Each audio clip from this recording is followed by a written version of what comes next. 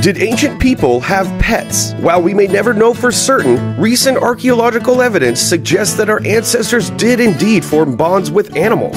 In ancient Egypt, for example, it's widely believed that cats were kept as pets. These feline companions were highly regarded, symbolizing grace and protection. Cats were even mummified alongside their owners as a testament to the special bond they shared. The ancient Greeks also had a fondness for animals. Historical records indicate that dogs and weasels were kept both as working companions and loyal pets. The weasels were used as badass rodent killers. But it wasn't just dogs, cats, and weasels that were kept as pets in ancient times. In South America, the ancient Incas are said to have kept llamas as companions and pack animals. These gentle creatures fostered a deep sense of connection with their human counterparts, providing transportation and even wool for clothing.